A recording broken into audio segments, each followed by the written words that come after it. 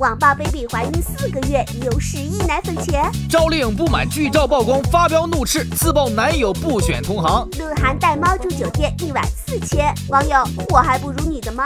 杨幂放话露腿很重要，自曝被爸爸吐槽长得丑。最新鲜、最独家、最猛料，吃尽在有料。终于的终于，黄晓明 Angelababy 承认怀孕了。贵圈让各位操心的大事又少了一件。看 baby 这孕肚，不少有经验的网友猜测，至少应该有三四个月了。一想到再过几个月将会有一个含着金汤勺的小 baby 诞生，本公爵还是很激动的。其实呢，用王子或公主来形容皇室夫妇即将出生的小 baby 一点都不夸张。因为啊，有网友已经默默计算出，黄晓明 Angelababy 已经为孩子偷偷攒下了十亿奶粉钱呢。乍一听，你可能会觉觉得十亿太夸张啦，但细细一算，还真的有可能哦。先说黄晓明，零五年开始就以五百五十万元登上福布斯中国名人榜，之后连续十年登榜呢。一五年以年收入七千九百万位列前五，十年累计收入约四点零八亿。如果再算上今年的收入，五亿应该不成问题。而 Baby 虽然一一年才上榜，但以广告女王的身份也是极力吸金呐。到今年，仅福布斯公布的收入就接近一点五亿，夫妻二人十年收入。六点五亿，再加上将近四亿的投资收益，这身价妥妥地超过十亿呀！当然啦，money 并不能说明一切，而我们的教主也早早的就暴露了他好爸爸的潜质，神马要亲自给孩子做饭，教孩子打篮球，最大的期待就是做一个好爸爸，张口就来啊！说到这，本公主实在是忍不住了，只想真诚祝愿教主 baby 生个健康可爱的小宝宝。厉害了，你离赵丽颖提名金鹰视后了。不知道正在拍戏的颖宝听到这个消息，会不会开心的多吃两碗饭呢？而说到这部新戏《楚乔传》，最近网上流传的路透照不要太多，尤其是这几张。虽然能看出颖宝拍戏很辛苦，但直接曝光拍摄现场真的好吗？尤其女演员还是这种尴尬的姿势，也许是不满剧场照不停被曝光。十号当天，赵丽颖忍不住在微博斥责乱发剧组照不够专业，随后秒删。正当大家感叹耿直高发飙，粉丝们纷纷跳出来力争这条微博并非自家爱豆所发。理由一：微博头像虽然相似，但客户端显示明显不同。理由二：星饭团显示赵丽颖此时根本没有登录微博。不管微博是不是赵丽颖本人所发，叔觉得发剧照这件事还是等片方来办吧。不是在拍戏，就是在拍戏的路上。这句话高度概括了赵丽颖这两年的生活。然而，太过充实的工作让她根本没有时间谈个小恋爱。去了金星秀，也再次被问到个人问题和择偶标准。是承担责任、责任感，两个人能够有一些思想上的交流，这是很重要的。共同语言，共同语言。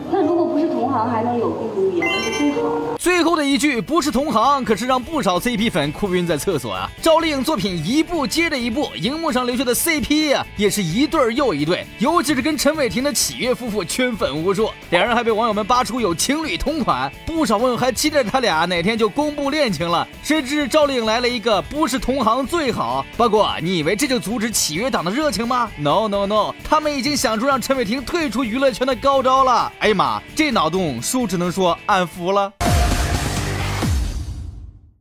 油桶火了之后，紧接着总统套房也冒出来了。近日啊，有网友爆料，武林鹿晗在泽田记剧组期间，一直住在横店某酒店的总统套房。哇，看看，那可是四千元一晚的高价呢。呃，让本公爵来算算哈，鹿晗拍戏一连住了四个月酒店，一个月按照三十天来算，光是住宿费就花了四十八万元，这还不包括鹿晗的片酬在内，四十八万呢，这也是有点奢侈啊。本公爵深深地震惊了。再来看看酒店房间照片，这床、这沙发、这柜子，说是鹿晗自己的家，也不是没人信啊！真是厉害了，我的傻狍子，这么霸气，你妈妈知道吗？不只是这样哦，鹿晗还是资深铲屎官一枚，就连拍戏也不忘带上自家的猫，一人一猫同住总统套房，猫大人还能享受咱们小露露的大长腿宝座，这待遇本公主这辈子是等不到了。难怪有网友调侃，我的还不如他家的猫，几乎一个月工资不够住一晚上怎么办？都让开，让本公主默默的去厕所哭一会儿。当然啦，这一系列的鹿晗效应让耿直 boy 鹿晗多次登上热搜榜，麋鹿们的默默付出是必不可少的。不过不晓得是不是一时手滑，就连鹿晗都开始自己搜自己了。看到这消息，一大票粉丝都心潮澎湃。瞧瞧瞧瞧，网友们都开始自制爱豆表情包，发微博前手动艾特鹿晗，就等着哪天被鹿晗翻牌呢。哎呀，这天真是说冷就冷啊！各种大牌的秋冬大秀也是一个接一个，时尚教主们自然是满天飞秀身材。衣品一直在线的杨幂不仅没错过这样的好机会，还大方说起了自己的穿衣道道。我个人的话，我会推荐那件廓形的毛衣，特别适合我打造夏装失踪的那种 style。对。露腿很重要啊！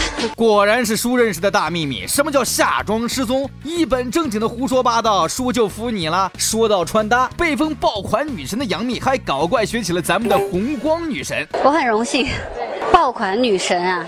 我觉得你们很有眼光，那个怎么说？我很满意。行，你开心就好。不过别看咱们的大秘密引领某宝风潮，被一大波网红快乐的模仿着，但一回到家，他就没有了女神光环喽，竟然被自个儿的点滴嫌弃了起来。我爸觉得我长得可难看了，长得跟我妈一样。呃，哪尼这真是亲爸吗？连密妈也中枪，还能不能愉快的聊天了？没有开玩笑，开玩笑，这是我们的一种交流方式。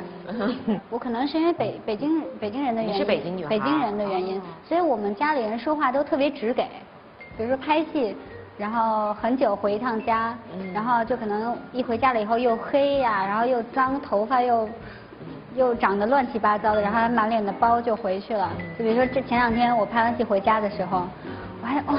越来越丑，长得跟你妈一样。啊，你看你妈长得跟你姥姥似的。你们家，你们家长得都丑。